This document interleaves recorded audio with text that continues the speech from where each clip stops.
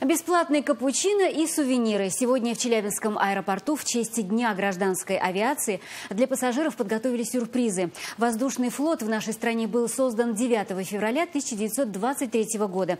Как сегодня сотрудники аэропорта будут отмечать праздник? Ульяна Зайкова с подробностями. Зал аэропорта превратился во взлетную полосу. Правда, на старте не Боинг и не аэробус. Над пассажирами кружит беспилотник. Тем, кто сможет посадить его в нужном месте, дарят призы. Ручки, календари, стакан кофе и право посидеть в бизнес-зале. Одна из первых победительниц – Анастасия. Девушка с минуты на минуту улетает в Москву. Признается, этот полет станет для нее, пожалуй, самым романтичным в жизни. Я лечу в Москву. Я познакомилась а, с парнем и мы встречаемся сегодня. Это первый раз, он живет в Лас-Вегас, я живу в Челябинске, и мы решили встретиться в Москве.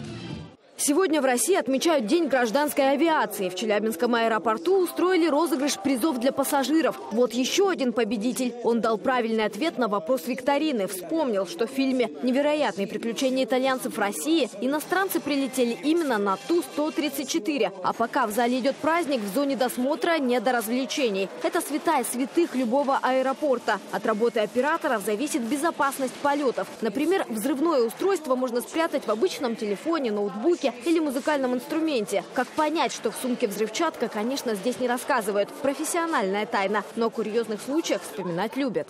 Бывает, вот на багаже э, находили пистолеты, а в итоге потом просим пассажира открыть э, свой багаж, а бывает это игрушечный пистолет, сейчас же как подделывают даже под настоящий. Сейчас специалисты начинают проектировать новый аэропорт. В 2020 году в Челябинске может пройти саммит ШОС. К этому событию общая площадь аэровокзала удвоится. Но будет это новое здание или реконструированные старые, пока неизвестно. Проектировать его начнет та же компания, что аэропорт Толмачева в Новосибирске. Вот так он выглядит сейчас. Сегодня Толмачева один из крупнейших аэровокзалов в стране. Здесь совершают 40 взлетов и посадок в час. А грузовые самолеты здесь делают остановку, когда летят из Европы в Азию и обратно. Предполагается, что таким же станет и Челябинский аэропорт. Его реконструкция начнется через несколько лет. Мы хотим э, поднять э, уровень обслуживания пассажиров на новый уровень.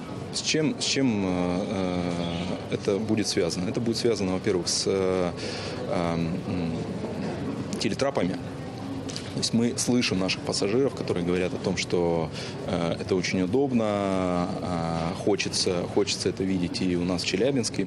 Какой тост будет звучать в День гражданской авиации в аэропорту, знает каждый, хоть праздновать здесь пока и не начали. От винта, от винта, поехали.